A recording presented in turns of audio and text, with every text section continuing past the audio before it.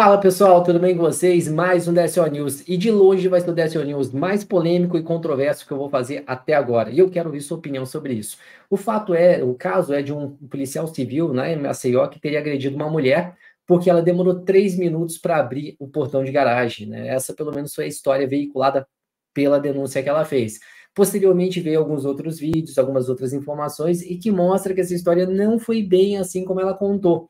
Mas será que quem está certo? O policial, ela.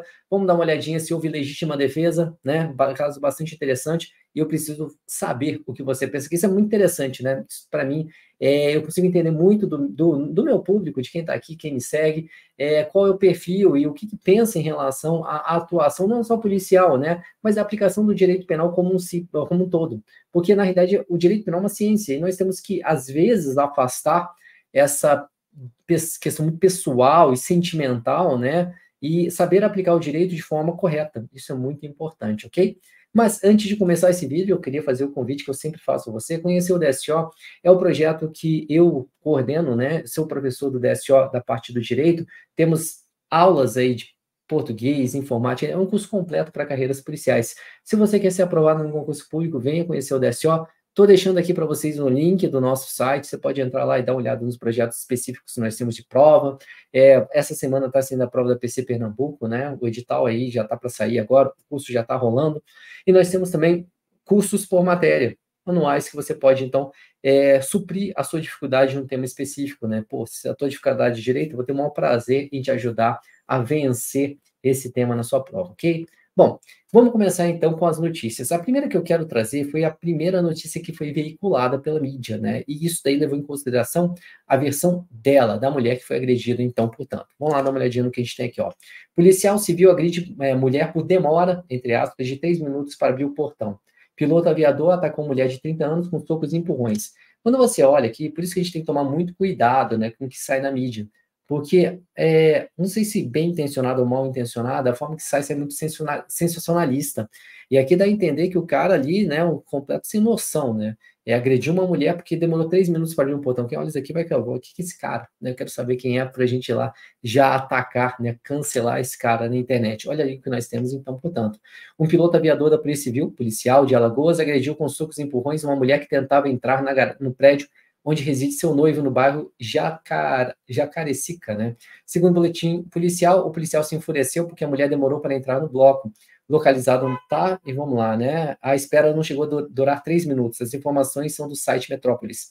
A vítima, mulher de 30 anos, chegou à residência do noivo e, por ter esquecido a tag, né, para abrir o portão eletrônico, buscou ajuda do porteiro do condomínio. Durante esse período, o policial civil, identificado como Cleiton Serpa dos Santos, 40 anos, também chegou ao local e em um veículo irritado com a demora da mulher para entrar no prédio. Testemunhas relataram à delegacia de polícia que o policial começou a gritar e xingar e agredir a mulher de forma violenta, conforme registrado em um vídeo que evidencia o momento do ataque. Né? Então, aqui nós temos, vamos ver o vídeo que nós temos soltado pelo Metrópolis, né? Tá aqui, aparece ele é, batendo mesmo nela, né? Agredindo ela caída no chão, e ele falando, gesticulando, lá um, tem uma pessoa ali perto e tudo mais, acho que é o filho, né? O filho, ele coloca o filho dentro do carro, né? O filho assiste tudo, ele coloca a criança no carro, ele tenta entrar, aqui já dentro já mostra a mulher discutindo, né? Brigando, enfim, né? Tem essa parte do vídeo. É importante ver todo, né? O que isso aqui, muito possivelmente, é a parte que foi veiculada na, na, na ali, tal. Ela, ele agrediu ela aqui de novo, né? Vamos lá. E aqui ela tá indo para cima dele. Bom, essa é a primeira notícia que nós temos. Olhando aqui nesse caso concreto, né, pelo menos na versão que foi dada, ele responderia por lesão corporal. Juliano, mas aqui seria um caso de Lei Maria da Penha? Não, não é um caso de Maria da Penha. Por quê? Eles sequer se conhecem, não existe uma relação é, familiar, doméstica familiar entre homem e mulher. Tá? Então aqui não se aplicaria a Lei Maria da Penha. Nós teríamos aí a aplicação do Código Penal e correria como se fosse uma lesão corporal normal, né? É, aqui me parece que não a, a, a, as lesões que ela sofreu não ensejariam uma lesão corporal grave ou gravíssima, tá? Mas ele responderia em tese por lesão corporal. Código Penal 129, eu vou até mostrar aqui para vocês, para a gente deixar isso bem registrado, e eu quero que vocês aprendam com essa situação aqui, tá? Vamos lá. E principalmente como policiais também, futuros policiais que vocês serão. Ofender a integridade corporal, a saúde de outra em detenção de três meses a um ano. Seria possível aplicar aqui a, a Ah, os institutos despenalizadores do GECRIM? Sim, sem problema nenhum, porque não é um caso de violência doméstica familiar contra a mulher. Se fosse uma questão de lei Maria da Penha, aí não poderia aplicar. Então, ali para ele tranquilamente serviria uma transação penal, né, uma composição civil e até mesmo uma suspensão condicional do processo. Mas o que, que aconteceu nesse caso concreto? Logo após né, toda a repercussão que teve, ele acabou sendo afastado. E aí veio uma outra situação, tá? Uma, uma, um fato novo que nós temos aqui, que foi a, o vídeo completo, né? O vídeo completo dessa situação. Então, ou seja, não foi bem assim como aconteceu, né? Pelo menos nessa divulgação do Metrópolis. E mostra que foi extremamente enviesado, né? E que isso não pode acontecer. Vamos lá dar uma olhadinha e vamos analisar juntos o que foi o caso concreto. Ó, vídeo completo mostra policial sendo agredido por nutricionista em prédio de Maceió. Opa, pera lá, mas foi o policial que foi agredido? Vamos dar uma olhadinha no que a gente teve aqui, então? Aqui está a situação, né? A chegada da mulher no prédio, às 23 e 19 ela para o, o carro, né, na frente ali, vamos acompanhar. Vai ao portão e fica por lá. Ela não entrou, não conseguiu entrar, né? É, vocês vão perceber que o porteiro, ele vai entrar, né, ele vai lá chegar. Ela simplesmente parou ali, né? O porteiro chega, depois de quatro minutos, vai ao encontro dela para convencê-la a retirar o carro. Porém, ela não, ela não tinha autorização para entrar. Pô, qualquer pessoa razoável ia fazer o quê? Ia ficar parado ali? É, assim, sinceramente, vamos ter bom senso. Estou falando nada relacionado ao que aconteceu depois. Pô, você não pode entrar, você vai parar exatamente em frente à garagem do prédio? Né? Enfim. Mas vamos lá. Isso aqui não justifica qualquer tipo de agressão, mas já percebe que o negócio ali já ia esquentar, né? Já ia azedar. E ele conversa, né? O porteiro vai fala, e ele entra. Confusão anunciada, certeza. Confusão anunciada. Passa um tempo, né? O vídeo está acelerado aqui, a gente pode acompanhar junto. Opa, eu não estou mostrando o vídeo, Jesus, né? Deixa eu botar aqui, deixa eu voltar aqui um pouco. Aí eu quebro vocês, né? Tá aqui. É, ele fala com ela, né? Ele pede para ela sair do, do, do, da garagem, né? Ele pede para ela sair de lá. E daí ele espera, ela fica no mesmo lugar. Pô, que é confusão, né? É confusão na certa. Passa um tempo, o vídeo acelera, Aí vai vir o carro do policial ali atrás. Ele para e fica esperando para poder entrar. E a mulher sabe, ela tá vendo ali atrás, né? Isso aqui foi feito de forma proposital. Ela quis, ela quis causar, né? Não estou falando que ela mereça ser agredida, mas ela quis causar ali, né? Quis causar confusão e pegou, talvez, o cara no mau dia também, né? Não justifica, mas vamos lá ver o que aconteceu. O marador desce do carro, aí vai tirar a satisfação, né? Aí começa, né? Sua mãe é moça, né? E já começa lá, tal, bate-boca, pá, pá, pá. O que, que vai acontecer? O pessoal olhando ali, porteiro só vigiando, né? Puxa de lado, tal. A criança sai, o filho sai, tá ali fora olhando. Aí a mulher sai, mão para trás, né? E já vai encarar o cara, né? Discute, discussão, põe dedo na cara, dedo na cara. E olha, puf, ela, ela, você vê aqui, você vê que ela vai e ele não está esperando, né? Porque ele viu ela, ela com a mão para trás, né? Tipo, e ela vai meter o dedão na cara dele. Ela, olha lá.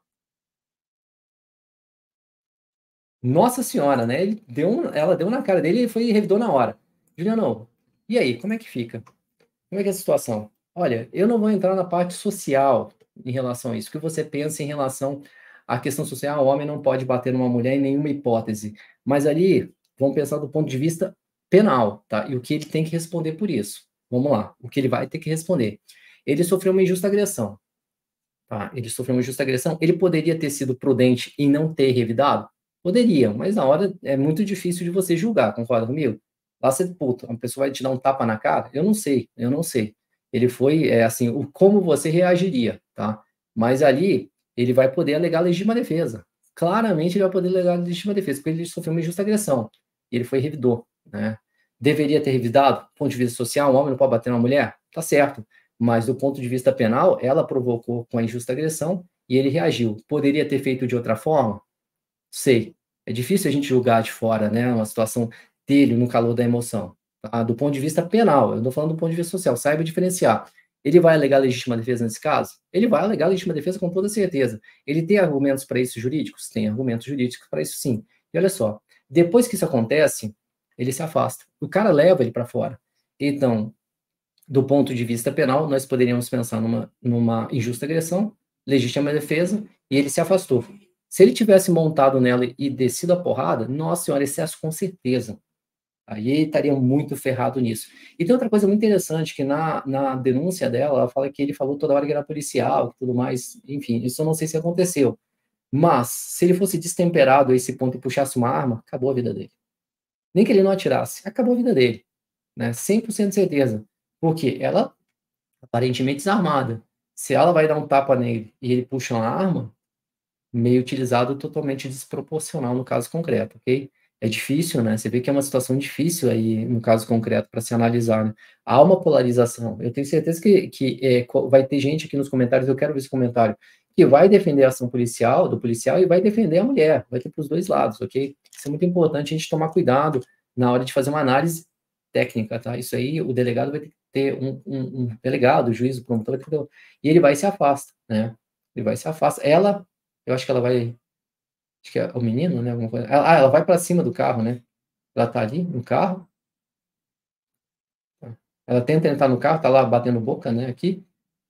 Eu acho que ela vai de novo e dá um tapa nele. E ele vai e revida, né? Aí foi essa cena que pegou. Na hora que ela dá o tapa nele, ele vai revida e daí ela cai e ele dá os tapas. Teve acesso?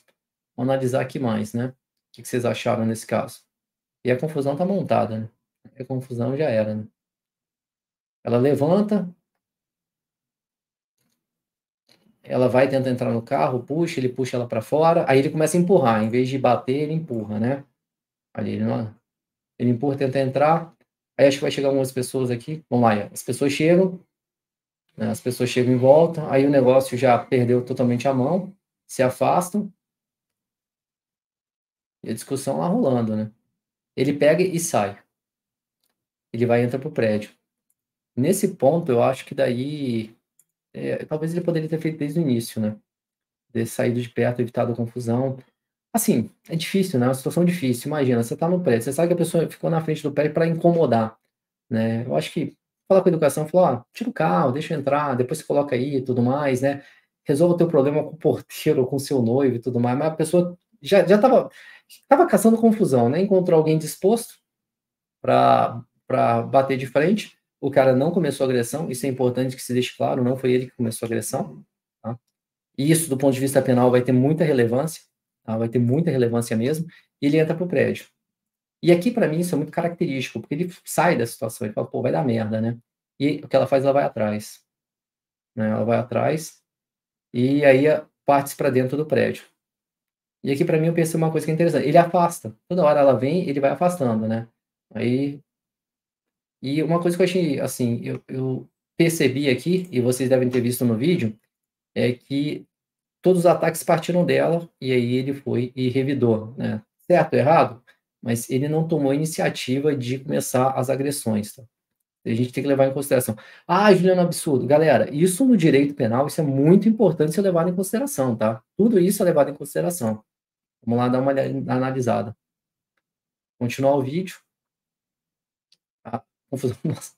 O que, eu, o que eu fico olhando é o porteiro, né? O porteiro, aí, o cara também apanha. De, não, assim, coitado é do porteiro, né? O maluco lá tá. imagina você, porteiro, tá, tá, você tá lá estudando para concurso, né? Eu tenho muito aluno que é, é porteiro, você vê um negócio desse acontecendo, aí você vê o, o, barraco explodindo na sua frente, você já fica preocupado. Você fala, se eu me meter aqui, vai sobrar para mim, né? Investigação social e tudo mais.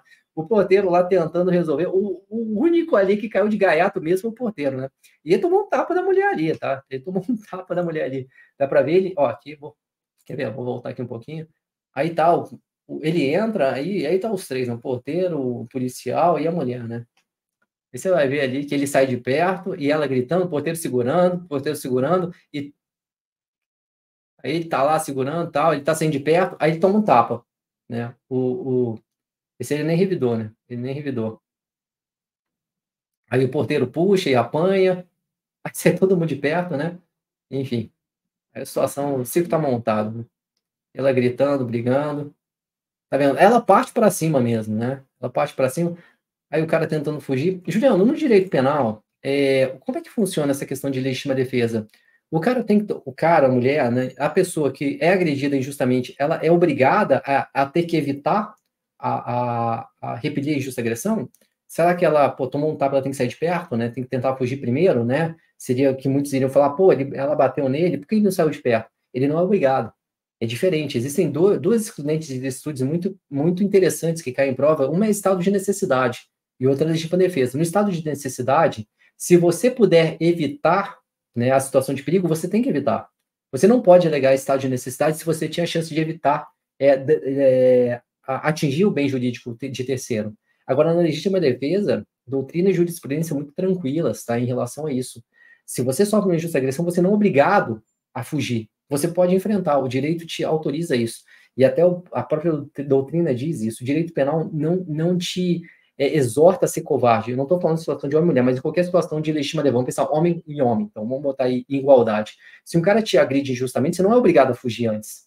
Tá? Você pode enfrentá-lo. Isso te autoriza a legítima defesa, diferente do estado de necessidade, ok?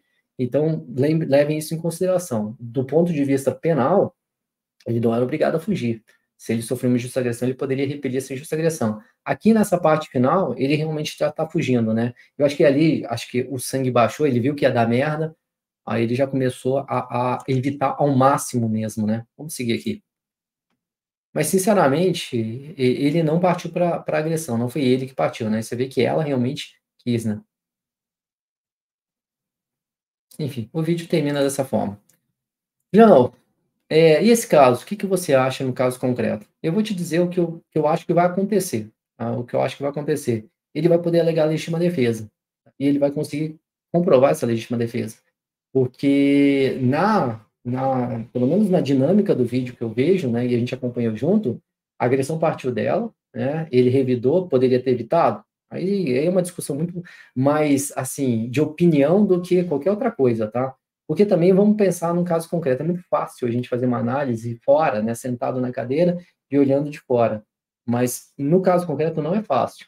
Imagina, pega você num dia, você, você, homem, mulher, pega no dia que acontece uma situação dessa, você vai ter o autocontrole tão grande assim, né? Tão grande assim, de ver uma pessoa, enfim, é, é difícil, é muito difícil julgar, tá? Aqui, evidentemente, não é um caso de Lei Maria da Penha, tá?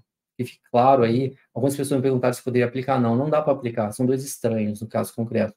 É, ele está certo, ela está certa. Isso é algo que, assim, na minha opinião, ninguém está certo.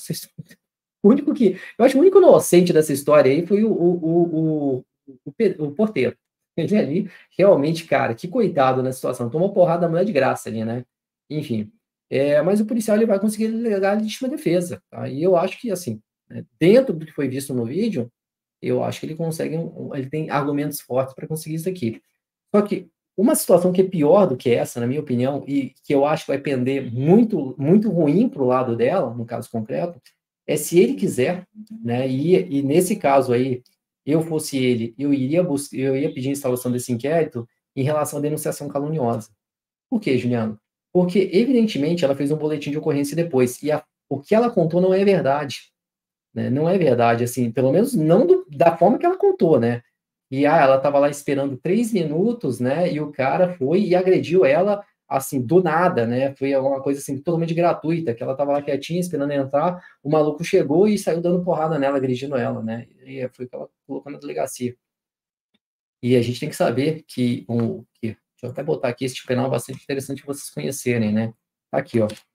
Denunciação. Peraí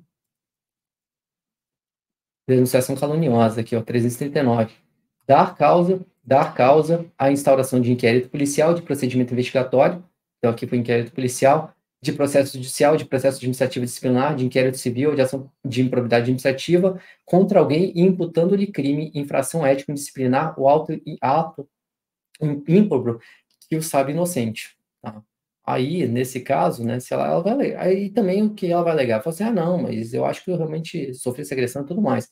Mas ali, com edição de imagem, se realmente houve edição de imagem, se foi um, um relato completamente mentiroso, né, eu acho que ela pode aí sim se complicar em relação à denunciação caluniosa.